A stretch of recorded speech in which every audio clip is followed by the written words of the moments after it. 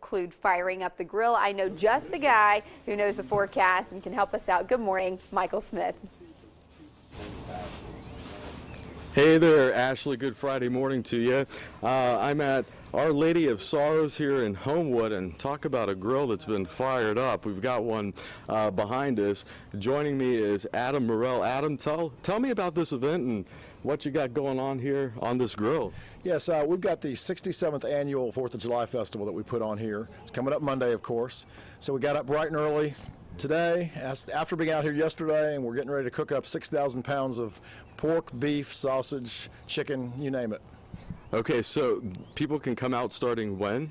So the festival begins uh, Monday at 10 o'clock in the morning, and it goes till 3 in the afternoon.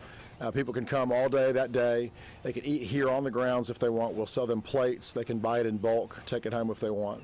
They can also come Sunday, and all day Sunday we'll sell in bulk. So they can buy uh, bulk pounds of pork or beef, sausage, whatever they like, chicken.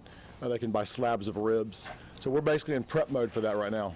Yes, you are. They are prepping and doing a good job. Ooh, yummy. Can I have a bite here in a second? Uh, let's get your grill on forecast for the 4th of July. Things shaping up like this. Temperatures are going to be in the 90s. There will be um, passing showers and storms at times, but not a total washout, so don't cancel uh, your grilling plans. Just grill around that rain and isolated storm chance. That's the latest from Homewood. Now let's check in with Rachel and real time traffic.